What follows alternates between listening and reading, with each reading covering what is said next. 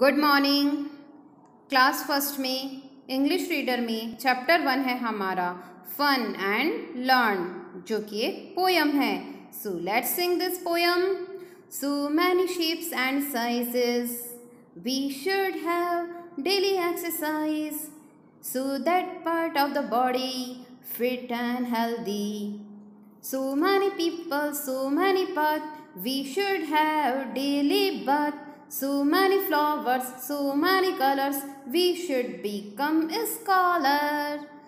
Thank you. Thanks for watching.